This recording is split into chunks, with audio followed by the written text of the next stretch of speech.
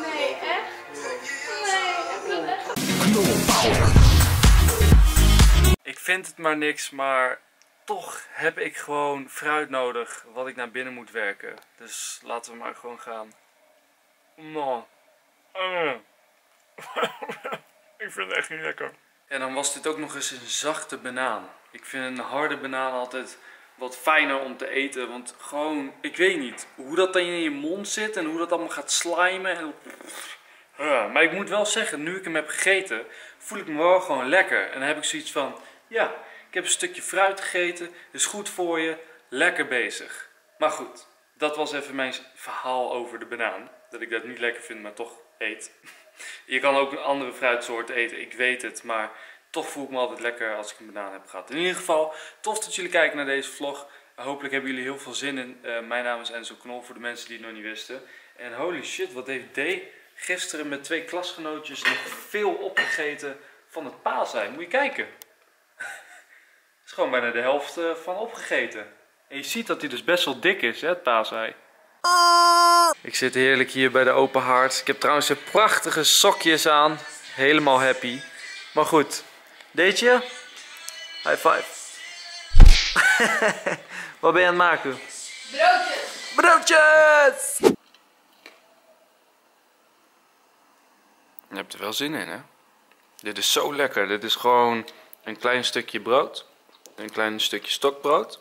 Met wat geitenkaas en honing. Lekker krokant. Naar wie zwaai je? Mama. Mam. Hoi mam. Huh? Ik keek ook echt. Sukkel. Waarom fiets je moeder naakt voorbij? Sinds wanneer doet ze dat? Ze is een beetje gek. Ben je internetgekkie? Ja, ik zit in het gek. En zo is aan het opnemen en er is iets heel ergs gebeurd. Ik heb meteen de camera gepakt. Dit is echt heel erg. Oké, bereid je voor. No! Het ei is helemaal gesmolten. Het staat hier in de zon. Als Enzo dit ziet, wordt hij denk ik gewoon verdrietig. Eeuw! Gadverdamme. Ik heb ook geen idee hoe we dit gaan opruimen. Ik heb maar een spatel gepakt. Oh, disgusting. Dit is echt gewoon chocopasta geworden.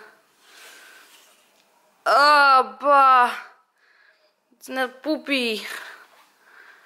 Oh, dit is zo zonde. Ons mooie ei. Gadverdamme. A few moments later. Oké, Enzo is klaar met opnemen. Kom maar. Hierheen.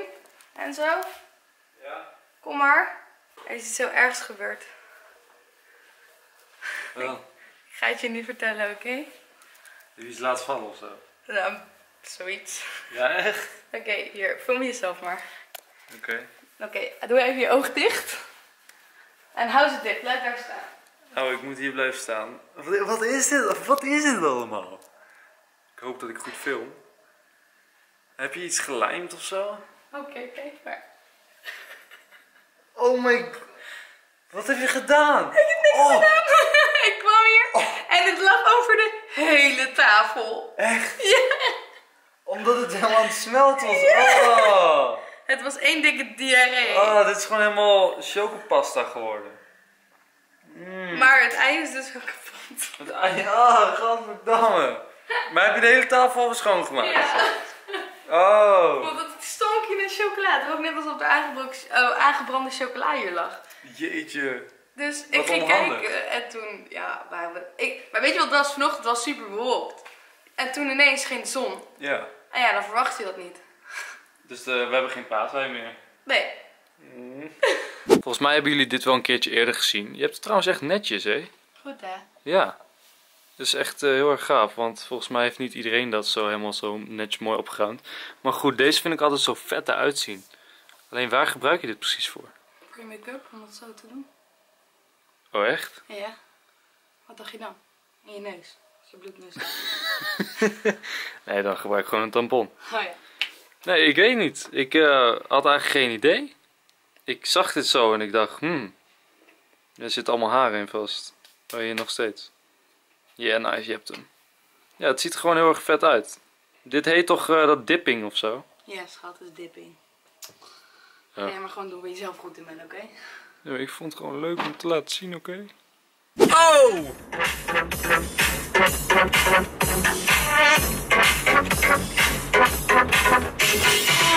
Lekker hoor, weer zo'n heerlijk zomerhitje. Er schiet opeens een heel, heel, heel erg gemeen idee in mijn hoofd te binnen. Oh, het is echt heel, heel erg gemeen. Oh, ik weet niet of ik het wel ga doen. Oh, ik zit echt heel erg te twijfelen. Ik, ik zou dus eigenlijk al iets van 10 minuten geleden thuis zijn. En nu, nu heb ik een foto naar D gestuurd via de app. Want ze zei van, je zou eigenlijk al thuis zijn. Ik heb trek, schiet op. En ik heb deze foto gestuurd. Dus misschien dat ik nu naar binnen ga en dat ik dan zeg van ja schat, het spijt me echt, het spijt me zo ontzettend. Ik ben per ongeluk met je mini tegen een paal gereden. Oh, dat zou erg zijn. Zal ik het gewoon doen? Oh, wat een kutvriendje ben ik dan. Ja, dan ben je wel echt een beetje kut, Enzo. Ik denk dat als ik met de camera naar binnen loop en het dan ga vertellen, dat het niet geloofwaardig is. Dus op een of andere manier moet ik misschien de camera zo beneden houden of zo. Hmm, lastig.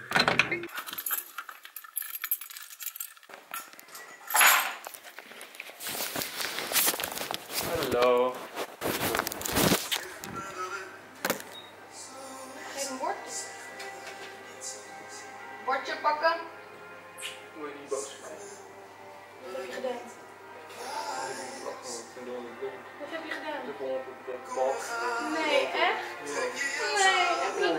Gedaan? Een grafje, grafje, grafje.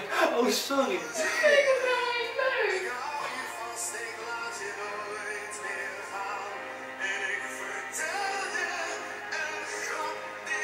A few moments later.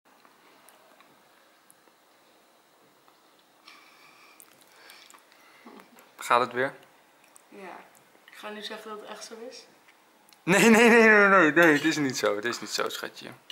Het was een stom grapje van mij. Ja. Het spijt me. Oké? Hoe kan ik het goed maken? ijsje voor me kopen. Een ijsje. Gaan we straks een ijsje halen? Nou, gaan we straks een ijsje halen, oké? Maar eerst even dit lekker eten. Spersiebonen, aardappeltjes en zalm. Oftewel, zalm met boontjes. Oeh, lekker. En ik ben echt een kutvriend, hè? Ja. Ja, ik ben echt een kutvriend. Ik wist het. Ik had het gewoon niet moeten doen. Maar ik vond het wel een beetje grappig op zich. het was wel geloofwaardig, omdat ik niet met de camera liep. Nee, het was vooral geloofwaardig omdat je altijd best wel onvoorzichtig bent. En ik ben heel voorzichtig. En dan vind ik dat kut. Jij bent altijd al voorzichtig, maar als je ergens voorzichtig mee bent, sorry dat ik met volle mond praat, Ja. dan is het wel je mini. Maar- Dat is echt jouw, jouw nieuwe tweede vriend. Nee, maar ik vind het gewoon belangrijk dat je met dat soort spullen, die veel geld waard zijn, super voorzichtig bent. Ja, daar ben ik het mee eens. Hm, Als ik iets kapot maak, dan is het gewoon. iets simpels. ja, het gaat gewoon per ongeluk, oké? Maar je hebt het toch niet echt gedaan?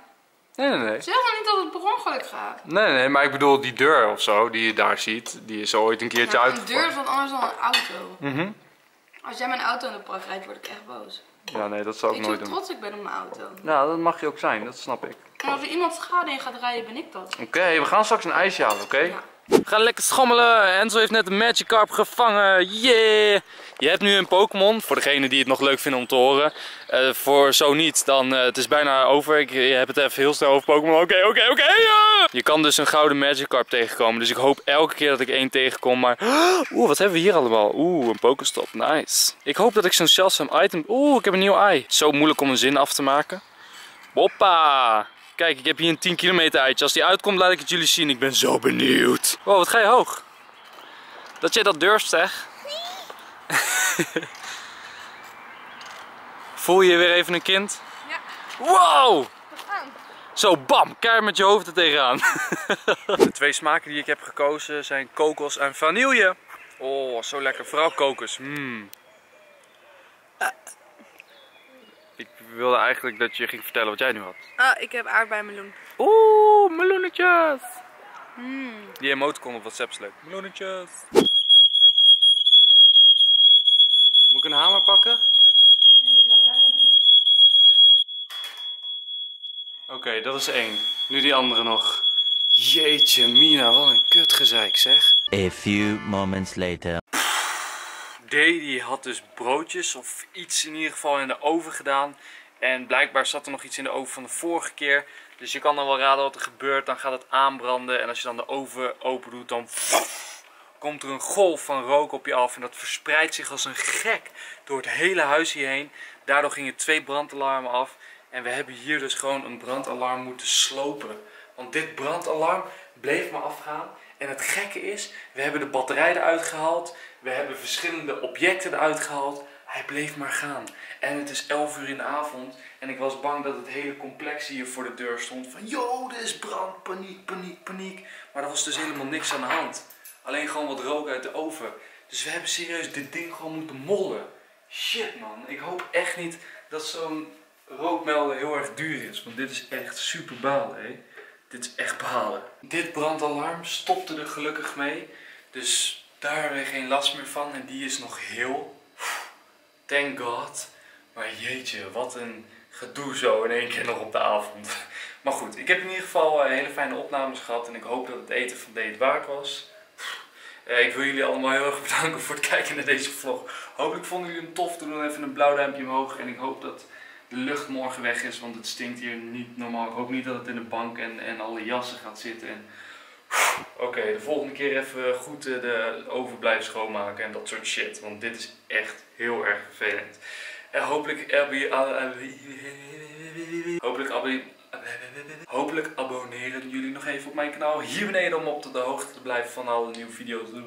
En er is ook zo'n icoontje die kan je aanzetten en als er een video online komt dan pling, zie je dat meteen op je mobieltje of gsm of telefoon of hoe je het wil noemen. Dat zou ik heel erg tof vinden. Check jullie morgen bij een nieuwe vlog om 4 uur en zoals ik altijd zeg, dikke, vette peace!